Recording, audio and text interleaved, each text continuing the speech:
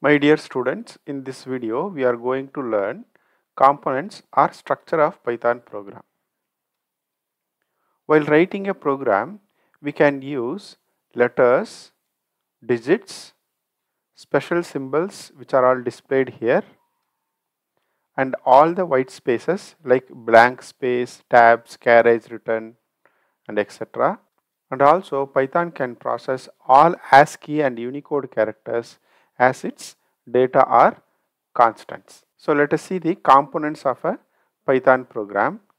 Comments, statements, keywords, identifiers, expressions, functions, blocks and indentation, symbols. I will explain all these using a simple program which is made for you.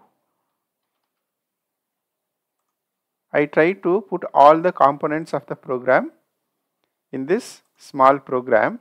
This is a program which takes two numbers and then prints the greater number and also shows the difference. Okay, you don't need to understand this program at all. You just concentrate whatever I explain, you try to understand it. Uh, in the beginning of the learning of any language, you may not understand all the things which is been explained, but later part when you are learning programming one by one, you will understand it clearly. So never worry if you don't understand few of the things in this. Simply I wanted to show you the output. So I run this, I enter a number 10, another number maybe 12. So it shows 12 is greater and then 2 is the difference between 10 and 12. Okay. Now if you see many instructions are made together to make one simple program. The instruction that computer language can execute are called statements. For example, this line prints, this line evaluates and stores in D. Similarly, any action is taken place, then it is called a statement. But it is not necessary that every statement results in a value. Now, if you see the first line, it starts with hashtag and then one line is given. This is a reference line given by the programmer to understand that particular program or some other reference. This is called comment. A single line comment always starts with hashtag. Comment can also be given in the middle of the program after the code. This is called inline comment. These are not executable as a programming code. So these both are comments.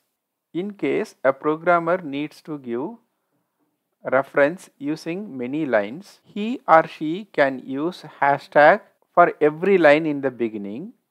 Otherwise, another option is there, a triple quote can be given in the beginning and then where it ends again it end with triple quote. This also can be a single quotes. Here it is double quote given. It also can be a single quote but three times repeatedly given. This is also called doc strings. Now in the second line if you see here a great is given and then here A and B is given. Here it is D and then here N1, N2. All these are names given by the programmer to a part of program or to indicate a variable. These are called identifiers. Next, if you see this brown colored text, these are the words here def, if, else, which gives a special meaning for that language. These are called keywords. There are around 35 keywords in Python programming language. Next you can see here A is greater than B, it evaluates something. Similarly A minus B evaluates something and then B minus A. So the statement which evaluates something is called expression. Now again if you see about the second line, here at last there is a colon. After that the next line starts with some gap here. So totally all these are sub part of this line.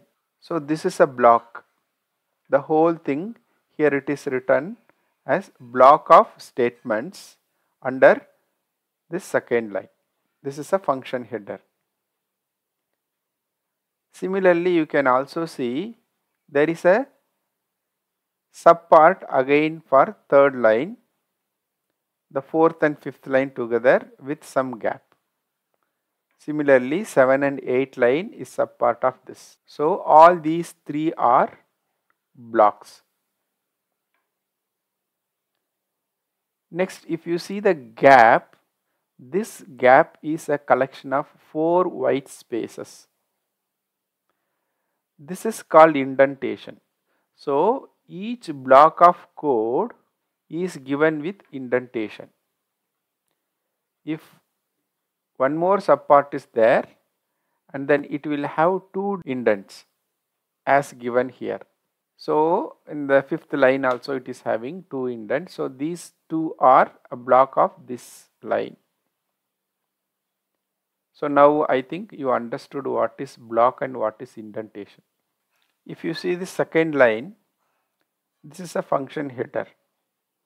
Function is a block of code which runs when it is called.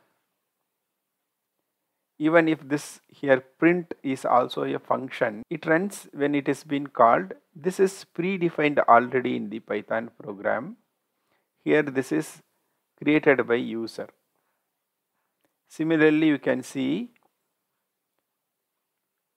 int and input. See input is also a function inside the other function called int. We will see elaborately about functions in future classes. This is just to know what are all the components. So if you don't understand even you don't need to worry about this.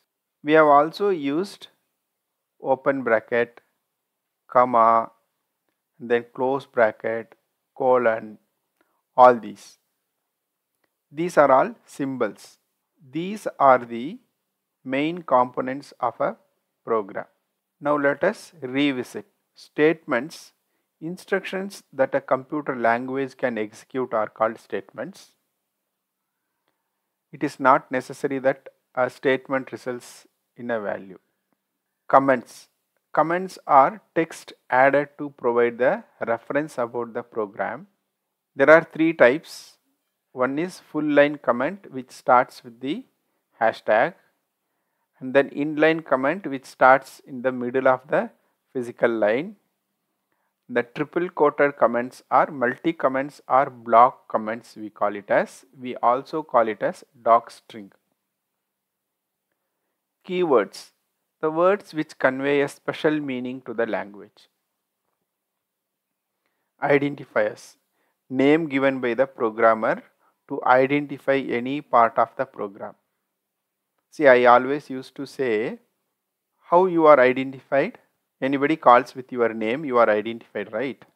So, simply you can remember this. Identifiers are name given by a programmer to identify any part of the program. Expressions combinations of constants, variables and operators that represent a value. So these are always executed. Now functions, named collection of statements which completes a task. Blocks and indentation, a statement or group of statement which is part of another statement or function, also called code block or suite. Blocks of codes are denoted by line indentation. One indent level is equal to 4 white spaces. Hope students you understood most of the things which I explained. Thank you.